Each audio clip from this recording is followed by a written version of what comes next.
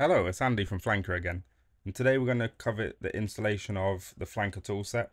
And we're going to start with part one, which is the, the basic bundle, because the pro bundle is the basic bundle with extra features. So I can split this into two parts. If you've got the pro bundle, you still want to watch this video to install these uh, tools first. And then skip to the pro bundle, which will cover the rest of the tools for you. So let's get into it. Let's go to the um, small screen, because in the last video I went full screen for too long. So on your account page on phlanka.com, well, let's first talk about the tools that are in this bundle. So today we're going to be installing the P3D converter, the DayZ texture baker, and the DayZ texture pack. So on your account page, you'll see there's downloads tab. You want to go into this.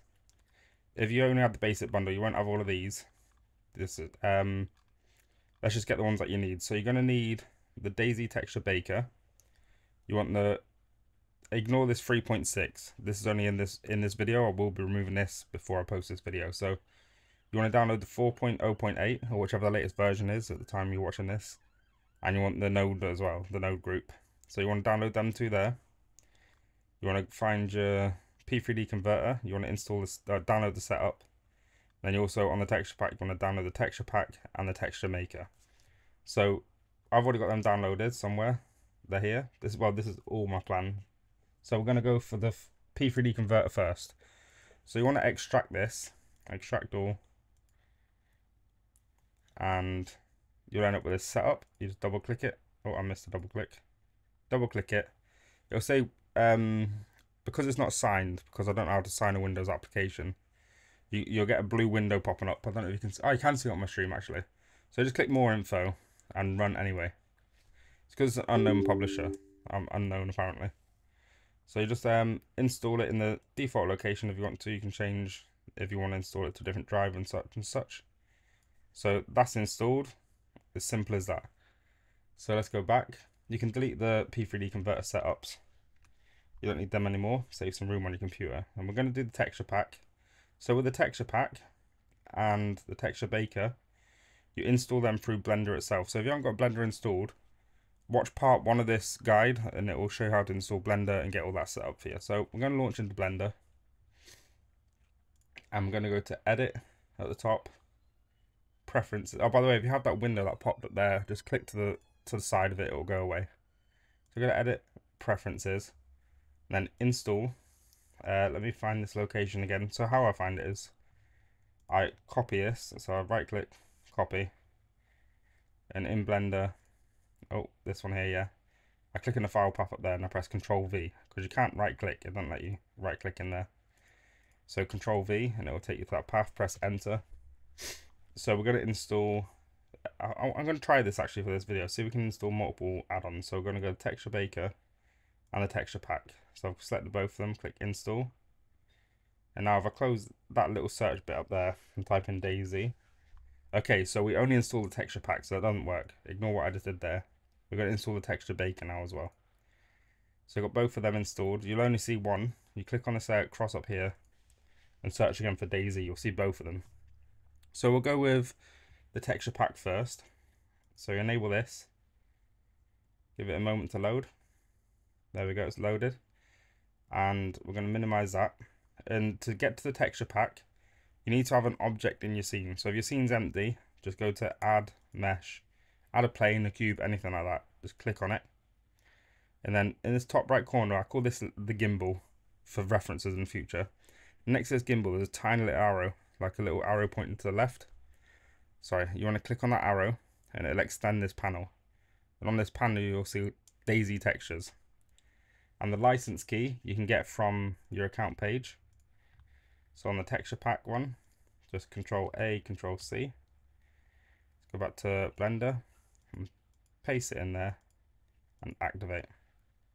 So there you go, you got the base textures. There's 50 in total inside of this pack. So your texture pack's installed and we're going to do the texture baker now. So go to preferences again. And if you don't see it like this, again, just search up here for DayZ and you'll find it. Enable the DayZ texture baker. And this texture baker, it will be in the in the render, sorry, in the render tab on this right hand side. So again, in future references, if I say in your tools tab, I mean this side here, these little buttons. So you go to the render, looks like the back of a camera. Click on there. Um, by default, it's on EEVEE This is good for quick previews, but you won't get the real shading and stuff. So you want to change this to cycles. Um, and further down the list, if you keep scrolling, you'll see DayZ Texture Baker. You can move this to the top if you really want to. Okay, I think you can only move it so far actually. Yeah, you can only move it so far up, so it's there. Go back to the website and find your texture baker. This one, copy. Oh, I didn't copy. Uh, I hope I didn't paste the other one in there. I'll refresh a page just in case because I think I might have just messed that up. So go to my texture baker, control A, control C, go back to Blender and paste your license in there and submit. So there you go, your baker is set up now and your texture pack is all set up. But now we need to set up the node. So the node groups, you, this is a new thing. I don't know, it's not a new thing. It's just a, a different way to install. So go to your preferences still. It's still in the preferences, but you find file paths on this left side. So file paths. And you click um, in fact, we're not going to click add new just yet. We need to get a file path. So go to your downloads where you downloaded um, the texture node. So if you double click this, you'll see you've got a blend file. You want to extract this to a, like somewhere where you'll remember. So I'm going to save this to my uh, P drive. No, yeah. No, I'm, going to save it to my C drive actually. So new folder. I'm going to call this one blend. I'm not going to type anything because I just created a. What have I done? New folder. Oh my Jesus Christ! I can't rename. So I'm going to call this one blend.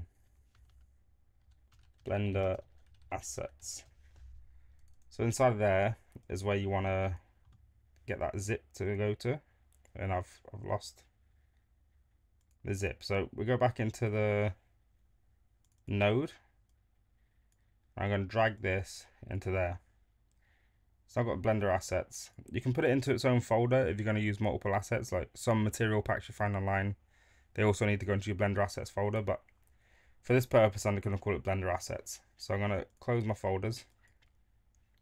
And in this um, asset library part here, you want to click on the plus and then browse to that folder that you just made. So I'll put it on my C drive, then I C drive, Blender assets, add asset library. It'll take you into the folder. Just click it again, add asset library, and it's the it's the it's it's done. So you can close this, and to get to the um where you can actually see your assets, you go to your shading tab, and in this left panel over here, you can extend it if you want to make it wider.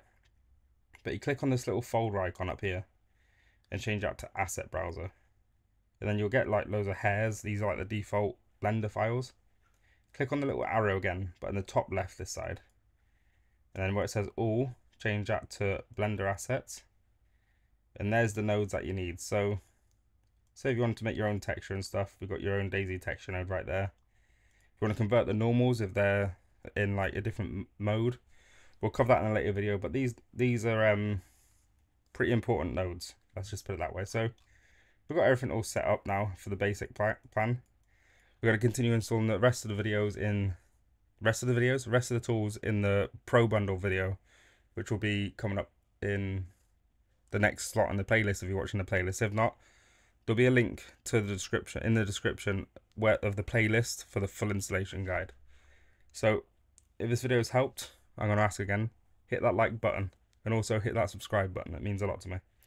And I'll see you in the next video, guys.